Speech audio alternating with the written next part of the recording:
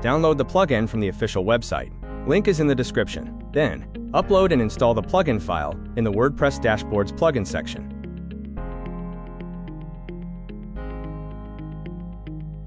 After activating the plugin, access the multi-currency settings. Your store's default currency is preloaded. Feel free to add as many additional currencies as you need, with no limitations. For this demonstration, I'm adding two more. Every currency offers customizable options to suit your preferences. To access these settings, click the Edit button next to the desired currency. Within the customization screen, you can modify the currency's appearance, similar to how you adjust the default currency settings in your WooCommerce store.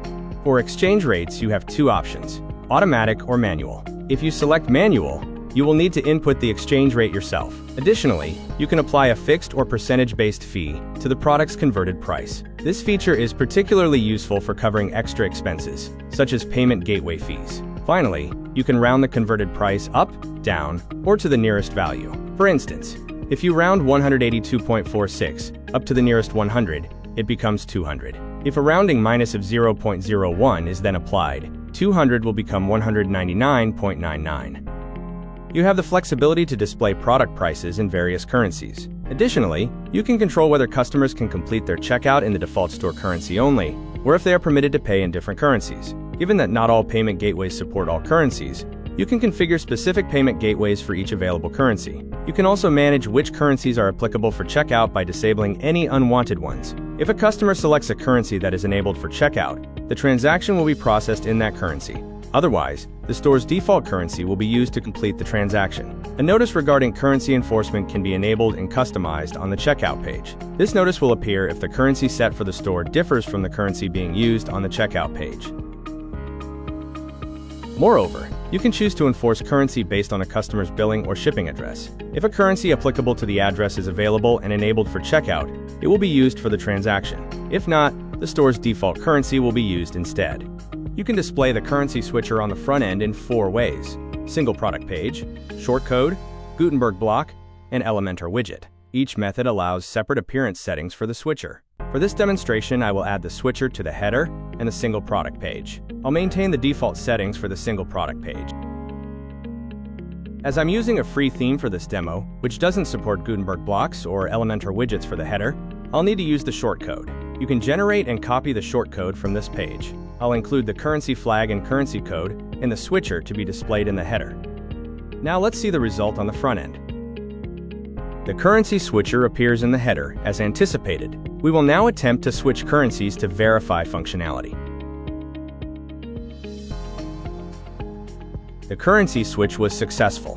Next, we will examine the single product page.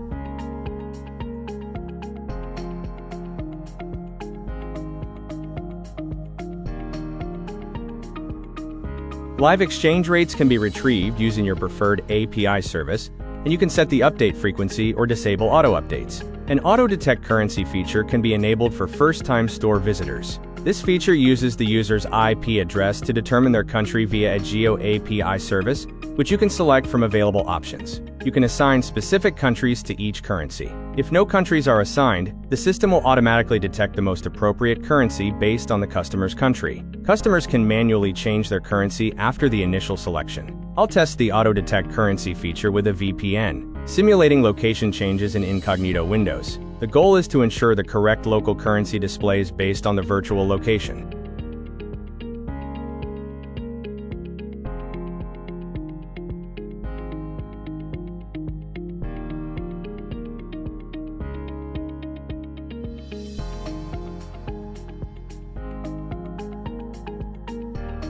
If currency switching is not working as expected with a cache plugin on your website, you will need to enable a specific option to resolve this.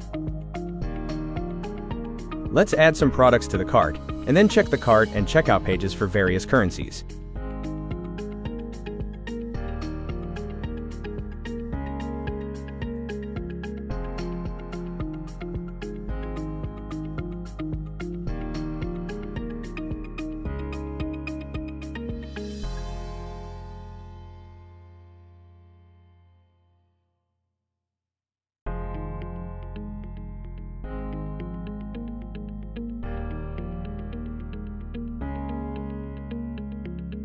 This plugin transforms WooCommerce Analytics with a powerful currency filter, offering deep insights into global sales.